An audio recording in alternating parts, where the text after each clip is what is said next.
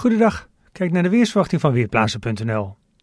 Op de satellietbeelden zien we dat er weinig bewolking was boven Nederland, maar ongetwijfeld heeft u dat ook buiten gezien. Het was een schitterende dag met volop zonneschijn. Vooral vanmiddag heerlijk weer, weinig wind, alleen in de smalle kustregio viel er toen nog een enkel buitje.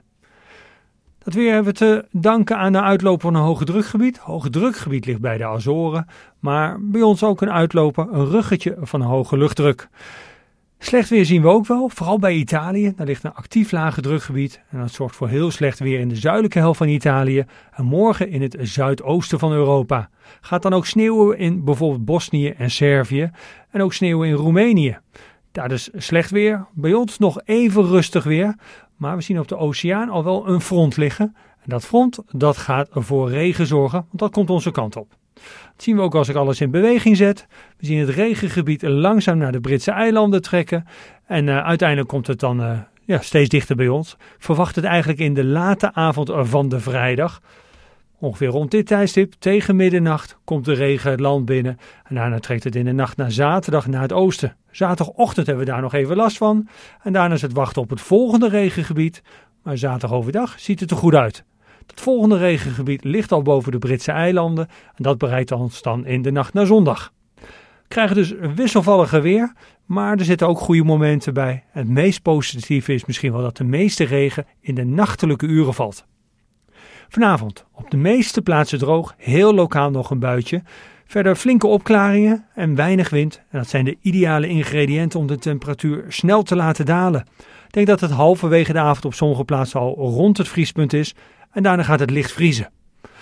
In de nacht dan minima zo rond de min 1 graad, wordt dus niet heel erg koud. Dat komt doordat de wind iets gaat toenemen. Kan wel lokaal een mistbankje ontstaan en mist en vorst samen kunnen dan plaatselijk voor gladheid zorgen. In de kustregio is het veel minder koud, daar zijn wat wolkenvelden, dan wordt het 4 tot 6 graden. Die mistbanken die lossen morgenochtend op, daarna gaat de temperatuur omhoog. In het oosten kan nog van tijd tot tijd de zon schijnen. In het westen en noorden overheerst de bewolking en die bewolking breidt zich morgen langzaam richting het oosten uit. Steeds meer plaatsen dus grijs weer.